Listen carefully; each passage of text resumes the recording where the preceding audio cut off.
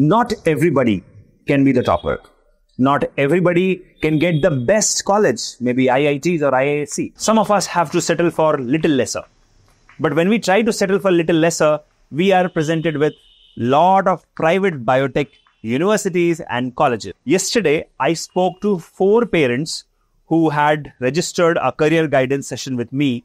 And after talking to all of them, I realized that these biotech universities and colleges are charging up to 25 lakhs for a four year BTech degree. Now, that is where I said, please don't break your bank for a biotech degree, that too in bachelor's. The reason I'm going to tell you right away. Now, agreed that education is getting costlier every day, but that does not mean that you take up so many loans, student loans, or uh, personal loans to just get that degree for your child or for yourself, and then you keep paying the EMI while the child is unemployed.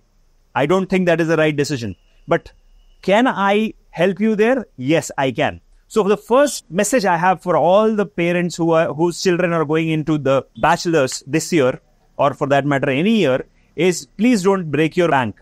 What is your budget? You will definitely get a college in that budget.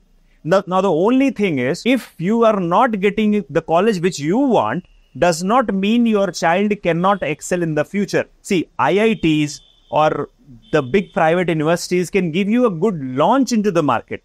But sustaining in that biotech market, staying competitive and getting the right job and keep progressing in the career is all upon you and your child. So instead of trying to, you know, give that uh, grand launch to your child and uh, thinking that brand matters, it is all in the head. I, I know a student who did BTech from a, eh, you know, not worst, but yeah, third grade college in some part of Gujarat. Then he studied hard, qualified, GATE, got into MTech in uh, IIT, and today he is in Germany as a senior protein purification scientist. So if you want, I can give you that example link also. The truth is, you really don't need a grand launch in bachelor's itself. See, bachelor's is all about building your knowledge base, getting some good hands-on training. Master's is where you're going to launch. Okay. Whether the master's is in India or abroad does not matter. You have to remember that even if you give that grand launch what Abhishek Bachchan got from Amitabh Bachchan, still he could not become a su- superstar while Shahrukh Khan is a superstar, right? So it's not the grand launch which matters. It's all about how you sustain in the industry, how you progress in the industry. So stop breaking your bank for your, your biotech degree. Instead, look for a college in your budget and on the top of it, help the child do some skill development programs, maybe with Biotecnika, Coursera, Udemy, wherever.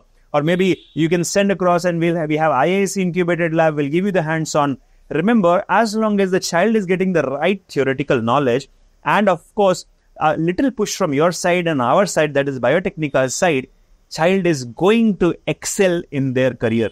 Okay. And now coming to those critics who whose uh, comments you are seeing on the internet, they say biotech has no scope, biotech has no job. The truth is, they when they don't get the job, they will go and write all that. But once they have got the job, they're not going to delete that, right? So basically, internet is the international global toilet of all the criticism of for any uh, you know industry. What's really happening is you are reading the negative comment of previous generation, but today they might be already placed, but they're not coming and deleting those comments, right? That's the problem you have. So instead of reading negative comments, focus on the positive sides. You are going to win. Your child is going to win. All the best.